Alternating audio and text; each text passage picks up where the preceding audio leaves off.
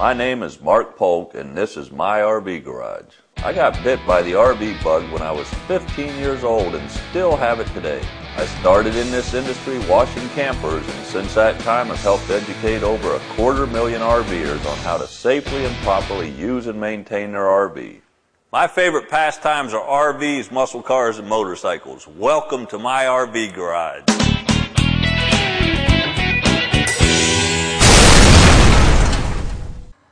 Our goal with Mark's RV Garage and RV Education 101 has always been to help educate you, the RV consumer, on how to properly and safely use and maintain your RV. RVing is intended to be fun, not stressful, and understanding how to use your RV enhances your RV experiences. In addition to Mark's RV Garage helping you learn more about your RV, we're very proud to announce the series has won a 2011 Telly Award. The Telly Awards honor the very best local, regional, and cable television commercials and programs, and the finest video and film productions created for the internet. Now let's get started with a brand new episode of Mark's RV Garage.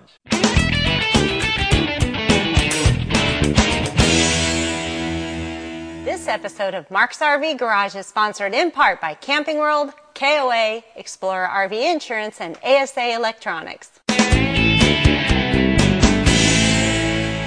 Well, today we install our TV antenna on the brand new rubber roof. This is actually a Winegard motorized TV antenna that's available at Camping World. The motorized TV antenna works off of a touchpad rather than the uh, handle that you would normally see located on the roof of the RV. So when you want to raise or stow or rotate the antenna, it's just the push of a button. Very cool. Let's get started on the installation right now. Okay, the first step of our installation of the TV antenna is to decide where to place it on the roof, and the only real requirements are that it doesn't interfere with any other components and that it's uh, at least 10 inches in from the side and 2 feet from the front or rear. Okay, the next step is to attach our uh, antenna head to the booms. I'm just going to put these pins and just snap these small clips on. And then next we want to attach our coax cable to the head and basically to get a watertight seal you want to finger tighten and then only give this a quarter of a turn after it's finger tight. Just want to give it a quarter of a turn. Okay, now we're getting ready to mount the antenna on the roof and we're going to just use our butyl tape like we did on the roof vents. All right, ready to take our mounting screws and head up to the roof. Okay, we've got our antenna positioned on the roof. We've got our sealant on the plate, the bottom, and now we're going to mount it. I've got it lined up with this one roof rafter, so each side there'll be at least one screw that goes into a rafter, and then the remaining screws will go into the roof decking, so we won't have any issues. You just screw it in like we mentioned before. You'll see the uh, butyl tape kind of ooze out. Okay, since our uh, wiring, our coax cable and control cables weren't routed through the roof, we're going to have to uh, make our connections, get that, get those cables sealed really good, and then we're going to route our wires on top of the roof and drop down to where we want the uh, touchpad control panel mounted on the inside of the RV. Okay, we've got our first piece of rubber in the groove, and now uh, we brought we put our uh, control cable and coax cable through here, and what we want to do at this point is go ahead and put some sealant in between, and then we want to take our last rubber piece, put it in the groove, put our top plate on, and then uh, install the screws. And the next step is just to go ahead and make our uh, connections with the control cable and our coax cable. And then uh, we've got a gasket that we're going to put in the cover, three screws to seal it to the base plate, and then all that's left is to route our wires over and install our touchpad. Okay, we ran our uh, TV antenna control cable and coax cable over the roof. Everything on the roof is connected. Uh, what we're going to do eventually when we mount our refrigerator, we're going to run those two cables down uh, inside the back of the refrigerator so you won't see them running down the wall. And then we'll bring them out in this area, and this is where we're going to mount our control panel and our power supply for the TV. And I have a 12 volt wire. When we wired the power center, we dedicated a 12 volt wire outside here for the television. So we're going to mount those and we're going to make a few connections, but we're not going to be able to finish the uh, TV antenna until we box in our refrigerator and we can run the wires down and, and actually hook it up.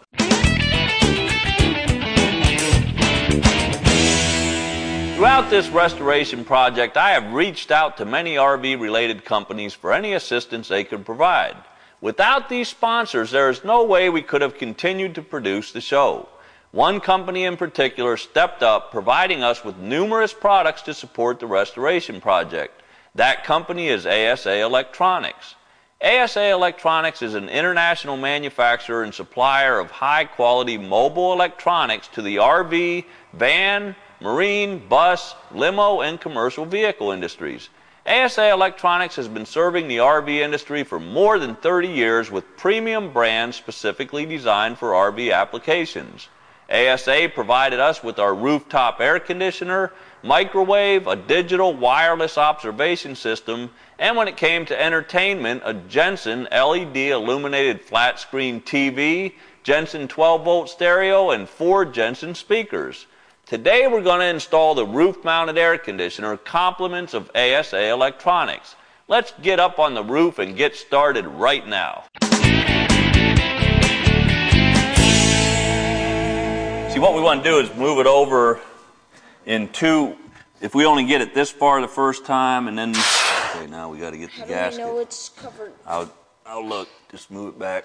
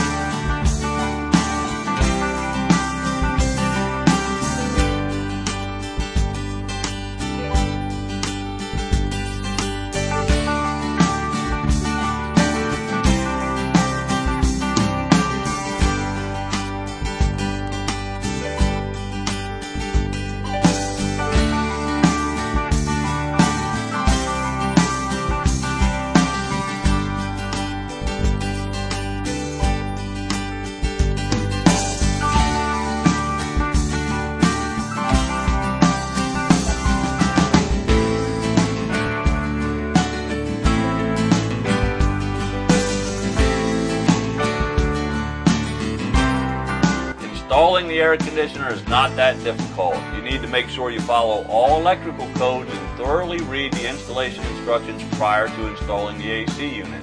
Now we have enough cooling power to turn the old Yellowstone into an igloo if we want to. We'll test the AC unit as soon as we complete the rest of our 120 volt wiring.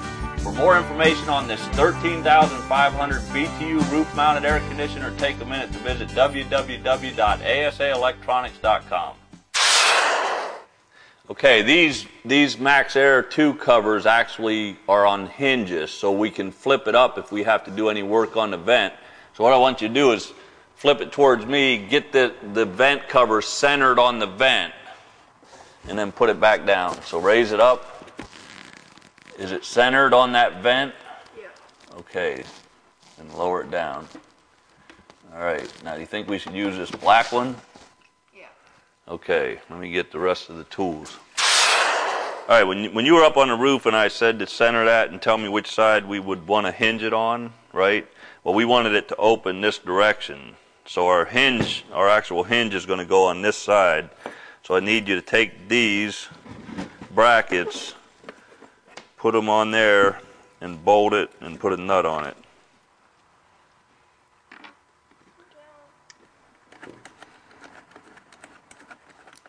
Hold it with the screwdriver. And these don't have to be super tight.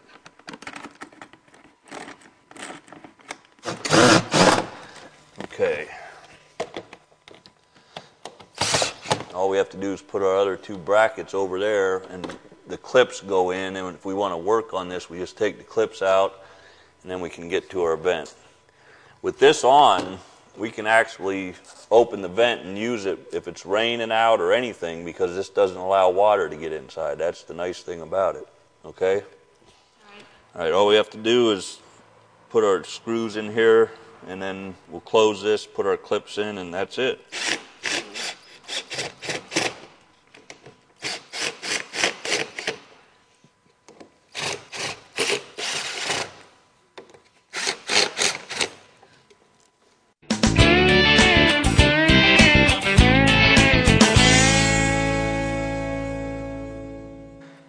There you have it. They're easy to install, and now we can maximize cross ventilation in the trailer and use our high powered fans in any weather conditions, rain or shine.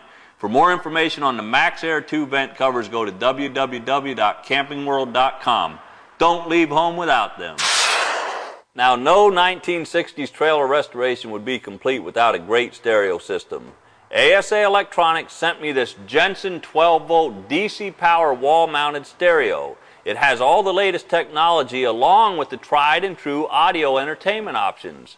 The stereo features an AM FM tuner, CD and DVD player, as well as a weather band alert. It's iPod ready with full audio controls and charging abilities, and it has a front USB input if you save music onto thumb drives.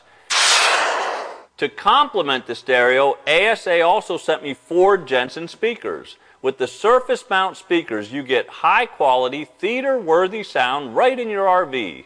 They offer easy to install audio solutions while providing you with the superior sound you want while you're out on the road. The Jensen flush mount speakers are waterproof so they can be used for outdoor entertainment as well. I can't wait to hear the stereo when it's installed. Let's not waste any more time.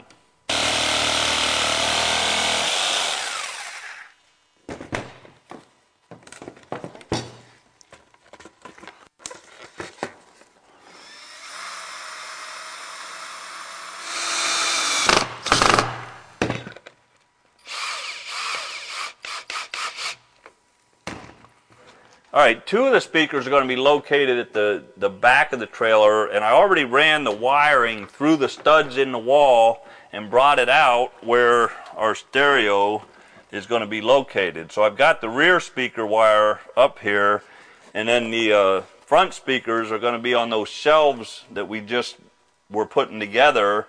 I just need to run another piece of wire out to each one of those. So we're going to have two front speakers, two rear speakers. Very cool. Okay, here's all our connections for the stereo, and basically you've got your iPod connector, you've got your video in, video out cables. If you wanted to watch a DVD, you would just connect these to the television, which I'm going to route some wires through the studs, bring them out at the TV set, so that'll all be hooked up. But right now our concern is to get our 12 volt positive and negative connected, and then this harness here has all of our speaker connections. We're just going to connect this harness and now they're all labeled. It tells us which speaker to connect it to. I've got my speaker wire labeled so it's going to be a piece of cake. We're just going to make these connections. I've got a here's my power coming in from the battery and I've got this on a dedicated uh, fuse a 15 amp fuse just for the stereo so we won't get any static won't have any problems with the sound quality of the stereo system.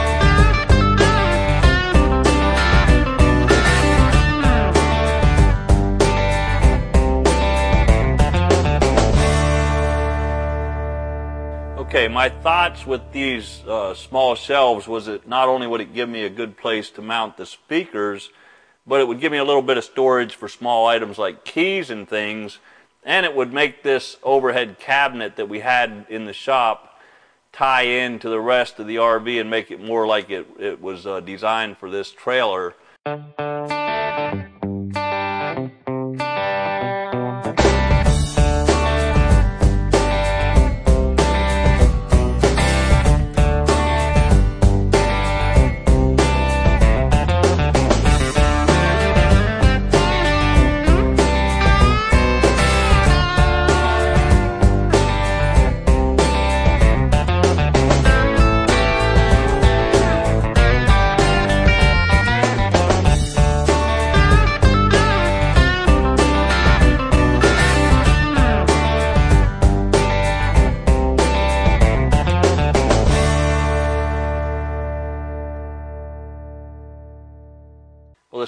Wasn't that difficult to hook up, and I still have to run some audio and video cables from here to wherever the, the television is going to be located, but we really don't know where that's going to be just yet.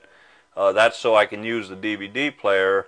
But now, when we get to our final destination, we'll have some old classic rock and roll.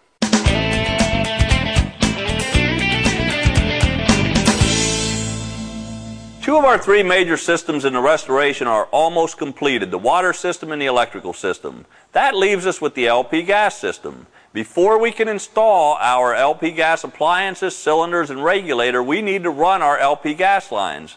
To do that, we're going to run some copper tubing from the front of the trailer and branch it off to our four LP gas appliances. The range and oven, the furnace, the refrigerator, and the water heater. The trailer frame already has some holes through the cross members that we can route our copper tubing through, and we'll use these rubber grommets to protect the gas lines from any damage. Wherever a fitting's required, we'll use a flaring tool to make our connections. Let's get busy running some LP gas lines in the old Yellowstone trailer. Whenever you flare tubing for an LP gas line, it's extremely important that you do it properly to create a good seal. When you cut the copper tubing, you want a nice straight cut. Then you want to ream the cut piece of tubing to remove any burrs or sharp edges. The flare needs to be smooth and free of any edges to seal properly. Next, we want to remember to put our fitting on before we flare the tubing. Until you become proficient at using a flaring tool, you should flare the tubing using a two-step process. Start by inserting the tubing in the flaring tool and clamp it down so it is flush with the top of the tool. Tighten the flaring cone down until it no longer turns. Now we reclamp the tubing in the tool with a little over an eighth of an inch sticking out past the edge of the tool and we flare it again. This will make a good flare that is the proper length without cracking the edge or creating burrs. Inspect the final flare for cracks, burrs, or any other defects that could prevent it from sealing. If there is a problem, cut the tubing off and start over again. I don't know if you remember when we originally demoed the trailer, but there was an old LP gas light fixture in the trailer, and we're going to try and salvage that and use it in, in the new trailer. Uh, what I have to do is route a quarter inch copper tubing from our main gas line up to where we want to uh, install the light. So I'm just going to drill some holes through the frame. We're going to route the tubing through and, and tie it into our LP gas system.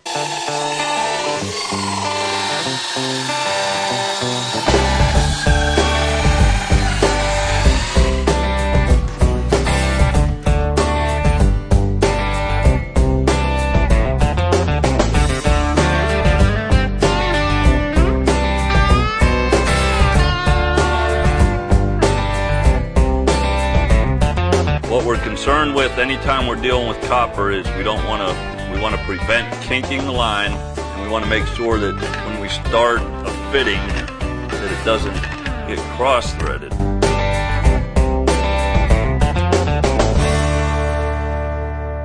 Well, we've got our gas light mounted. It's very cool and on the uh, original label it says Humphrey and then in that, uh, I don't know if you remember when I was tearing the trailer apart, I found a folder that had some actual uh, owner's manuals and, and that type of thing in it. And inside were these Humphrey number 39 gas lamp mantles. And they're actually quite a bit bigger than the mantles that you would use on a Coleman type lantern these days. There were about four of these in there, and I'm hoping that after uh, 44 years, that they'll still be good. And I don't know if you've ever used a mantle, but all you really do is is put it over this groove, tie the string. This would be our globe. We got to clean it up. Hopefully it still works. All right, our, our quarter inch line is going to come down into the top of the T for our light. And then uh, I mentioned earlier when you, whenever you tighten these fittings up, you always want to use a backup wrench. And you don't have to use any pipe dope or Teflon tape. The flare is what will seal, and you don't have to over tighten it. It's compression fitting. We just want to make sure we get it good and snug so it seals. Right, this is the gas line that's actually going to go to our gas cylinders. I mentioned earlier that uh, our frame, our cross members had holes already in them, but they were missing a few grommets. So we picked the grommets up at the home improvement store. And you just have to push them in, and they'll lock right in place. All right, so 42 inches. Okay, uh, basically underneath, we've got our our tubing cut where the first T is going to branch off and go up to our oven and range top. And then this last piece of tubing, we're going to put three T's in. We're going to put one in for our refrigerator, one for our furnace, and at the end of that run, we're going to have the uh, one for our water heater. This will be our, uh, our main supply line, and then we'll branch off from here with a slightly smaller diameter uh, copper tubing that'll run up to the appliances.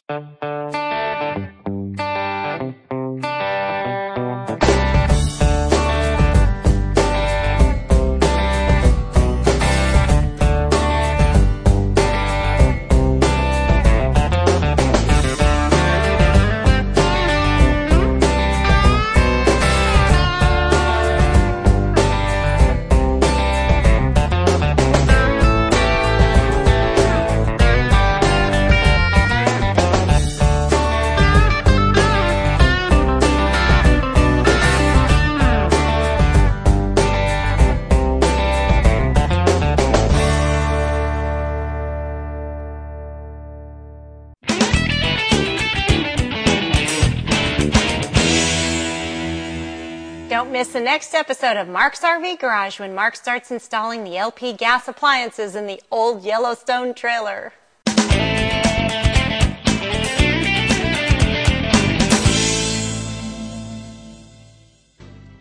At Explorer RV, we understand that a recreational vehicle is one of the biggest purchases you'll ever make. That's why we really take the time to discover what kind of insurance you require. Then we'll tailor a policy to that level of coverage. As your needs change over time, we'll check back to ensure your policy is still providing the value you're looking for. Choose the RV insurance experts. Choose Explorer RV.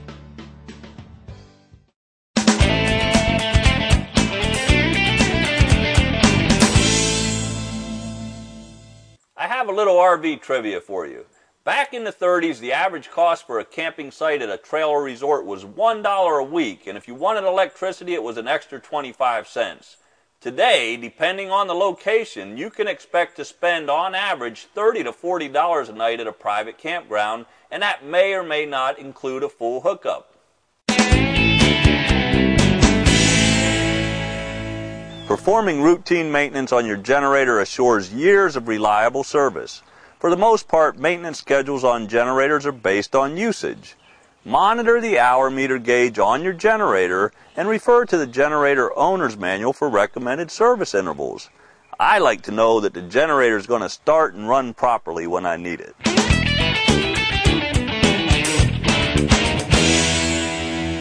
I've produced over 15 DVDs to teach you how to use and maintain your RV, and I'm the author of three books that cover everything you need to know about your RV.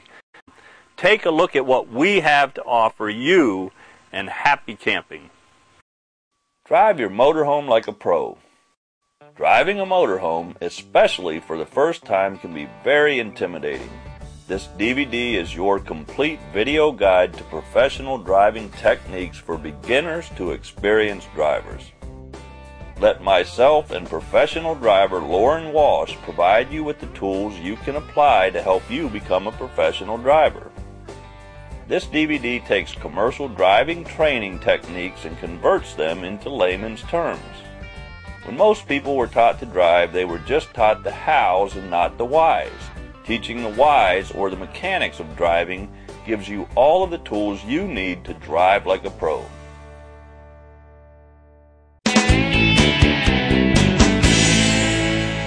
We're taking a few days off for some rest and relaxation, and there's no better way to do it than in the RV at the Cape Hatteras KOA. It's located off Highway 12 on Hatteras Island, 25 miles south of Nags Head. Whether you like relaxing on the beach, swimming in the campground pool, or taking in all the local attractions, this Outer Banks campground has it all. Let's take a closer look. For endless, unspoiled sand, surf, and summer fun, head for the oceanfront Cape Hatteras KOA on the North Carolina Outer Banks. Your campsite is just a few steps over the dunes to the Atlantic. Walk the beach for miles hunting for shells, casting for bluefish, and scouring the surface for dolphins, or head across this sliver of an island to Pamlico Sound, where windsurfers and kiteboarders head off toward the horizon. Enjoy a beautiful sunrise and later that evening a magnificent sunset. There's a full roster of summer activities at the campground. Everything from pool games to basketball tournaments, craft activities like bead jewelry making, live skits, and live music provided by the Summer Shiners. Finish with a dip in either of the two pools and grab a bite at the poolside snack bar. They've got a great staff here at the Cape Hatteras KOA. When we arrived with our Jeep in tow, we had a problem with it, and Roger here came to the rescue. Thanks a lot, Roger. No problem. I appreciate it, man. I'd shake your hand, but I'm dirty duty right now. I know what you mean. Thank you, Roger. No problem. Fun at this KOA is as limitless as the sand. There's a lot of local attractions to keep you busy as well. Book a North Carolina fishing charter trip, visit the Cape Hatteras National Seashore and Lighthouse, the graveyard of the Atlantic Museum, the Wright Brothers National Memorial, the Lost Colony Outdoor Drama, and much, much more.